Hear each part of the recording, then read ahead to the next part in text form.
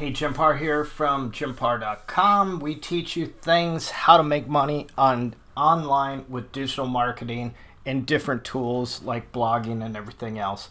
Today, we're going to talk to, to you about how to verify your Shopify store in your Google Search Console. Also, there's some other things that you might need it for, um, like verifying a Google Merchant Center, st stuff like that.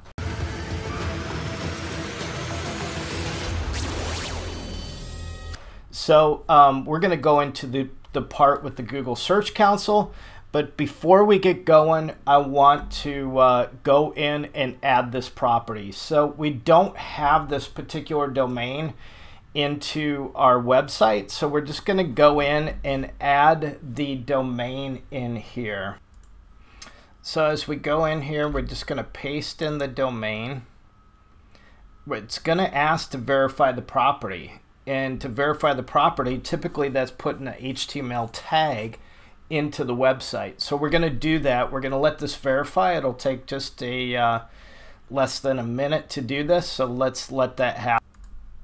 So here we are. We can do a couple of different verifications. Uh, you can download HTML file. Um, what we always do is add a tag. So if we just go down here and we copy and paste this, um, basically, you're just going to do a Control C and go over to uh, your Shopify. And to find where you need to go, you need to go into online stores. So we're going to go into online store and we're going to look for actions here. And we're going to edit the code and it's going to open up basically an HTML editor. And we want to look for this theme.liquid because that's your home page.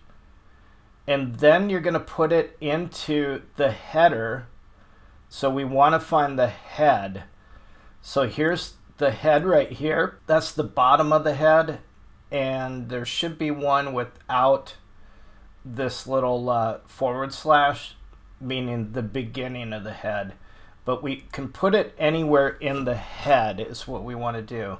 So we're going to paste that in and we're going to save that. So now we're going to go back to our uh, Google Webmaster Tools and we're going to click Verify.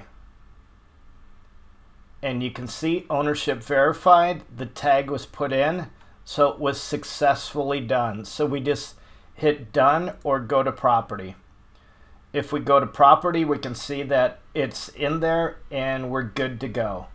So it's easy as that to add that in there. And you can do the same with Google Merchant. Uh, Google Merchant will ask, uh, or Merchant Center will ask for verification. You can do the same thing, grab that tag, drop it into your Shopify, and it's as easy as pie. So uh, if you have any questions, comments, uh, leave them below.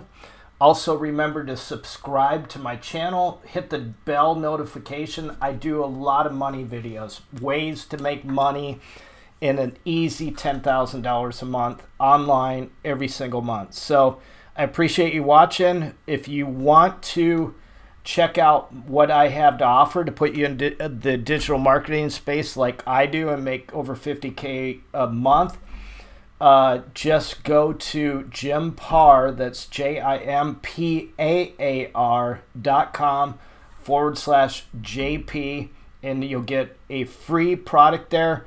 Plus, you can set up a strategy call or purchase my product. So the other one is jimpaar.com forward slash stealth. Thanks for watching.